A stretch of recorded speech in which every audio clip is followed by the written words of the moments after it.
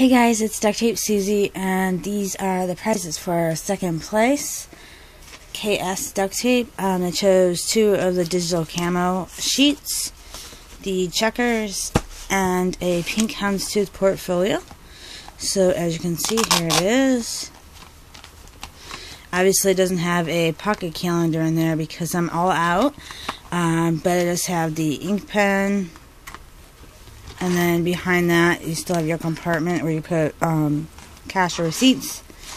You have your detachable coin pouch, just four horizontal, one vertical, an ID, and another vertical pocket. And then, of course, you have your Ziploc coin pouch. And then you also have your uh, mini composition book. So that is it. I hope you like your prizes. Um, if you think the portfolio is good the way that it is, then I'll go ahead and ship it out. Um, if I don't hear back from you before I go to the post office today, I'm probably going to ship it out because you already told me this is what you wanted.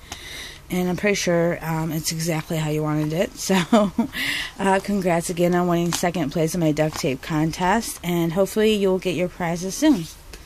Bye, everybody.